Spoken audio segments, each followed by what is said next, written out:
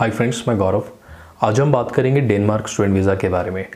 देखिए कोई भी स्टूडेंट किसी भी कंट्री में जाना चाहता है तो उसके बहुत सारे क्वेश्चंस होते हैं कि मैं जिस कंट्री में जा रहा हूँ तो वो कंट्री कैसी है? वहाँ पे सेटलमेंट है या नहीं? आ, कितना मैं कमा सकता हूँ ड्यूरिंग स्टडी भी और स्टडी के बाद भी? क्योंकि देखिए मेन जो प्रोस्पेक्टिव रहता है वो आ, सिर्फ़ कंट्री में जाना ही नहीं होता वहाँ जा कर के जो है पैसा कमाना होता है ठीक है? तो कोई भी स्टूडेंट जो बाहर जाना चाहता है तो उस कंट्री एक अच्छी कंट्री में जाना चाहता है और जितने भी क्वेश्चन रहते हैं एक स्टूडेंट के तो वो आज सारी कंप्लीट जो है क्वेश्चंस को आज हम कवर करेंगे। डेनमार्क की आपको डिटेल में इन्फॉर्मेशन मैं प्रोवाइड करूँगा। तो जो स्टूडेंट डेनमार्क में जाना चाहते हैं, उनके लिए बहुत ही हेल्पफुल ये वीडियो रहने वाली है। तो अब सबसे पहले हम बात करते हैं डेनमार्क के बारे में कि डेनमार्क जो है वो कंट्री कैसी है।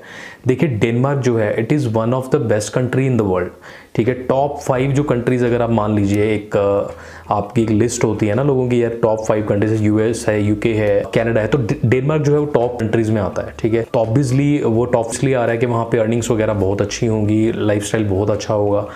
वर्ल्ड की हैप्पीएस्ट कंट्रीज़ में से एक है डेनमार्क तो बहुत सारे जो स्टूडेंट हैं वो डेनमार्क में स्टडी पे जाते हैं। डेनमार्क एक हाईली डेवलप्ड कंट्री है। अर्निंग के पॉइंट ऑफ़ व्यू से, वहाँ पे सेटलमेंट के पॉइंट ऑफ़ व्यू से एक बेस्ट ऑप्शन है एक स्टूडेंट के लिए जो इंटरनेशनल एजुकेशन लेना चाहता है। और इसके अलावा इसका बेनिफिट ये भी है कि इट्स अ शेनिगन कंट्री तो शेनिगन का भी आपको एक्सेस मिल जाता है।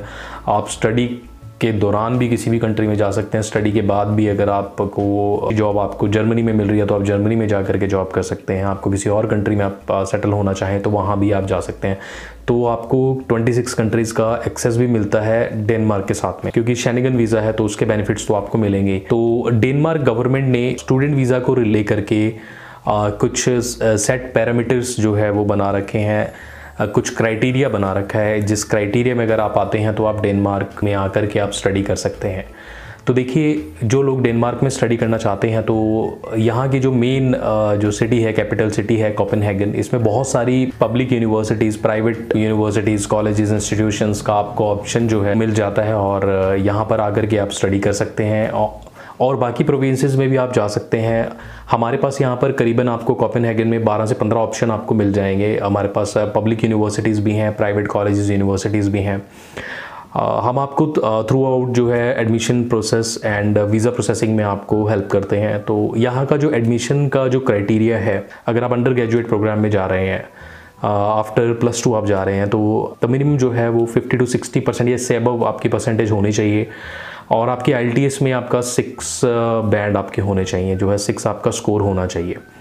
अगर आप मास्टर्स में या पोस्ट ग्रेजुएशन प्रोग्राम्स में आप जाते हैं तो आपकी 6.5 जो है वो बैंड स्कोर आपका होना चाहिए। तो सबसे पहले जो है आपका एलिजिबिलिटी क्राइटेरिया है, आपके यहाँ पे आई कंपलसरी है, आपके आई होनी चाहिए। और तभी आप जो है यहाँ पे एडमिशन ले सकते हैं। और यहाँ पर जो पब्लिक यूनिवर्सिटीज़ का जो एडमिशन क्राइटेरिया है, वो as compare to private universities थोड़ा सा मुश्किल होता है। आपके एडमिशन के लिए वो आपके uh, सबसे पहले आपका जो है uh, आपके जो डॉक्यूमेंट्स हैं वो आपके देखते हैं और फिर उसके बाद जो है आपका एक पर्सनल uh, इंटरव्यू आप का करते हैं वो। अगर आप इंटरव्यू क्रैक कर लेते हैं तो वो आपको एडमिशन जो है प्रोवाइड कर देते हैं। बट वीज़ा सक्सेस से रिलेटेड अगर हम देखें तो वीज़ा सक्सेस यहाँ पे मोर देन 90 परसेंट आपका सक्सेस रेशो है।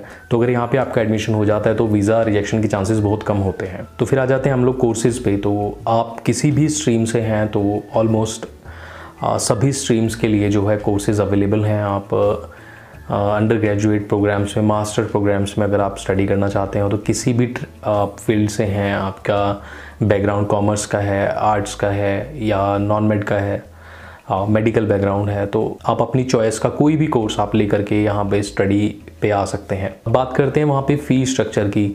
तो फ़ीस जो है वो मिनिमम जो है स्टार्ट हो जाती है eight thousand nine thousand euro से और ये अप टू पंद्रह हज़ार, सोलह हज़ार जो है यूरो तक फ़ीस रहती है पर एनम तो डिपेंड करता है कोर्सेज़ के ऊपर, ठीक है, और आपके यूनिवर्सिटी के ऊपर। तो हर यूनिवर्सिटी में हर एक कोर्स की जो है वो डिफरेंट फ़ी स्ट्रक्चर है तो डिपेंड करेगा कि आप कौन सी यूनिवर्सिटी में कौन से कोर्स में आप जा रहे हैं तो उसी के अकॉर्डिंग जो है आपकी फ़ीस रहने वाली है। तो आपको अप्लाई करने से पहले आपको जो है यूनिवर्सिटी और उसमें जो है कोर्स आपको सेलेक्ट करना है अपने बजट के अकॉर्डिंग आपको यूनिवर्सिटी जो है वो सेलेक्ट कर लेनी है कि आपने कौन सी यूनिवर्सिटी में जाना है।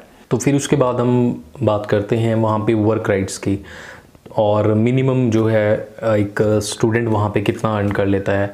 तो देखिए वर्क राइट्स की अगर हम बात करें तो आपको 20 आवर्स पर वीक जो है आपको वर्क अलाउड होता है। आप स्टडी में अगर आ रहे, वहाँ पे आ रहे हैं और वहाँ पे जो अर्निंग है वो नॉर्मली जो है दस यूरो या ट्वेल्व बारह यूरो तक आपकी पर आवर जो है कि जो है अर्निंग रहती है। तो अच्छी अर्निंग है वहाँ पे और आपको पार्ट टाइम जो है वर्क वो ड्यूरिंग स्टडीज़ अलाउड होता है। और अगर आफ्टर स्टडी की बात करें, आप अगर स्टडी आपकी कंप्लीट हो जाती है तो उसके बाद आपको कंट्री जो है, वो स्टे बैक भी प्रोवाइड करती है। वहाँ पे जॉब सर्च वीज़ा आपको देती है। जो मिनिमम आपकी ड्यूरेशन रहती है जॉब सर्च वीज़ा की, वो करीबन सिक्स मंथ की रहती है। तो इट्स इनफ टाइम जिसमें आप जो है जॉब आराम से ढूंढ सकते हैं। और अर्निंग पॉइंट ऑफ़ व्यू से देखा जाए आफ्टर स्टडी तो बहुत अच्छी कंट्री है। पे आउट्स बहुत अच्छे हैं। अगर आप स्पेशली आप अगर आईटी फ़ील्ड में हैं या फिर मेडिकल आप फ़ील्ड में हैं, जैसे फार्मासिस्ट होते हैं या नर्सेज हैं डॉक्टर्स हैं, या इंजीनियरिंग के जो स्टूडेंट हैं आईटी से हैं इलेक्ट्रिकल इंजीनियरिंग से हैं या मैकेनिकल से हैं, किसी भी आप फ़ील्ड से हैं तो अच्छे जो है आपको जॉब के ऑप्शंस मिल जाते हैं। और अच्छी अर्निंग्स जो हैं, अच्छे पैकेजेस पे आप जो है वहाँ पे जॉब ले सकते हैं। तो ड्यूरिंग स्टडीज़ भी और पोस्ट स्टडीज़ भी आपको जो है अर्निंग से रिलेटेड कोई ऐसा इशू नहीं रहने वाला है क्योंकि वहाँ पे अगर आपके पास जॉब है आपके पास काम है तो इनकम तो अच्छी है। आ, फिर उसके बाद हम बात करते हैं देखिए वीज़ा की। तो अब अगर आपका एडमिशन का जो प्रोसेस है वो कंप्लीट हो चुका है फिर आपको जो है वहाँ पे वीज़ा चाहिए रहेगा डेनमार्क में जाने के लिए। तो वीज़ा के लिए आपको जो है, सबसे पहले जो है यूनिवर्सिटी से एक्सेप्टेंस लेटर आपको चाहिए होगा। आपके पास जो फाइनल एक्सेप्टेंस लेटर होना चाहिए और जो कॉन्ट्रैक्ट्स वगैरह आपने यूनिवर्सिटी के साथ साइन किए वो होने चाहिए। तो वहाँ से यूनिवर्सिटी जो है आपको एक इनविटेशन भेजेगी। जिसके बेसिस पे आप यहाँ पर वीज़ा अप्लाई कर सकते हैं। और उसके बाद हम बात करें जो डॉक्यूमेंटेशन की तो तो नॉर्मली आपके जो है, आपको स्पॉन्सर करेगा तो आपको स्पॉन्सर की आई वगैरह या उनके जो ऑक्यूपेशनल प्रूफ्स हैं तो वो डॉक्यूमेंट्स आपको प्रोवाइड करने रहते हैं। हाँ एक चीज़ और डेनमार्क में एक अच्छी चीज़ है, अगर आप स्टूडेंट वीज़ा पे जा रहे हैं तो आपको फ़ंड्स नहीं शो करने हैं। इसमें आपको फ़ंड्स नहीं शो करने होते, जो स्टूडेंट होता है। हाँ अगर आप फैमिली के साथ अप्लाई कर रहे हैं, जैसे आपके साथ आपका स्पाउस अप्लाई कर रहा है, आपका बच्चा अप्लाई कर रहा है, तब आपको उनके लिए फ़ंड्स जो है, वो शो करने रहते हैं। डेनमार्क में देखिए स्पाउस भी साथ में जा सकता है। एक ये भी प्लस पॉइंट है डेनमार्क स्टूडेंट वीज़ा का। अगर आप मैरिड हैं, आपके जो स्पाउस हैं या आपके किड्स भी हैं, वो भी आपके साथ जो है, वो डिपेंडेंट वीज़ा पे आपके साथ ट्रैवल कर सकते हैं, जा सकते हैं। तो उनके लिए जो है फंड्स की रिक्वायरमेंट रहती है। स्टूडेंट के लिए कोई रिक्वायरमेंट नहीं है। अगर आप स्टूडेंट वीज़ा पे जा रहे हैं, आपने फ़ीस पे की है एक साल की तो आपको फंड शो करने की ज़रूरत नहीं है डेनमार्क में। तो अब बात करें वहाँ पे परमानेंट रेजिडेंस की। आप स्टडी के बाद आप पक्के कैसे होते हैं वहाँ पे? अब देखिए डेनमार्क में कोई भी स्टूडेंट जो है, वो नॉर्मली जो है, आठ साल तक आप अगर टी पे वहाँ पे रह लेते हैं उस कंट्री में then you are entitle to apply for PR तो आप वहाँ पे परमानेंट रेजिडेंसी अप्लाई कर सकते हैं।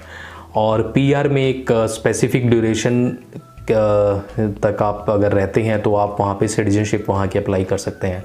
तो एक बहुत ही स्ट्रेट फॉरवर्ड सा जो तरीका है ये पॉइंट बेस्ड सिस्टम नहीं है जैसे कनाडा वगैरह में रहता है कि आपको Uh, कुछ पॉइंट्स आपको चाहिए होते हैं कितने पॉइंट्स आपको चाहिए तो पीआर के लिए आप तब एलिजिबल हो। ऐसा नहीं है अगर आप वहाँ पे uh, मतलब टाइम ड्यूरेशन का गेम है सारा अगर आप और छोटे मोटे और क्राइटेरियाज़ हैं इसमें तो मेनली जब आप वहाँ पे स्टडी कर लोगे तो आपको जो है परमानेंट रेजिडेंसी के लिए आप वहाँ पे जब आप अप्लाई करेंगे तो आपको आइडिया लग जाएगा। तो बहुत मतलब इजी सा प्रोसेस है, एक स्ट्रेट फॉरवर्ड सा प्रोसेस है वहाँ की परमानेंट रेजिडेंसी का भी। तो सेटलमेंट की पॉइंट ऑफ़ व्यू से भी बहुत अच्छी कंट्री है। अर्निंग पॉइंट ऑफ़ व्यू से भी अच्छी है। एजुकेशन जो है, वो वर्ल्ड रिकोगनाइज एजुकेशन है। यहाँ की आप दुनिया में किसी भी कोने में आप अगर यहाँ से आपने स्टडी की है तो आप अच्छी कंपनीज़ में आप जॉब जो है ले सकते हैं। और और शैनिगन कंट्री है तो आपको शैनिगन का एक्सेस तो मिल ही जाता है। आप शैनिगन में कहीं पर भी आप जा कर के आप जॉब ढूंढ सकते हैं, वहाँ पे आप जॉब कर सकते हैं। तो अगर आप भी डेनमार्क में स्टडी करना चाहते हैं, और कोई डाउट्स हैं अगर आपके डेनमार्क स्टूडेंट वीज़ा से रिलेटेड तो आप दिए गए नंबरों पर हमें कॉल कर सकते हैं। हमें बहुत खुशी होगी आपको जो है सपोर्ट करके आपका डेनमार्क का वीज़ा आपको दिलाने में हेल्प करके। So thank you so much all the very best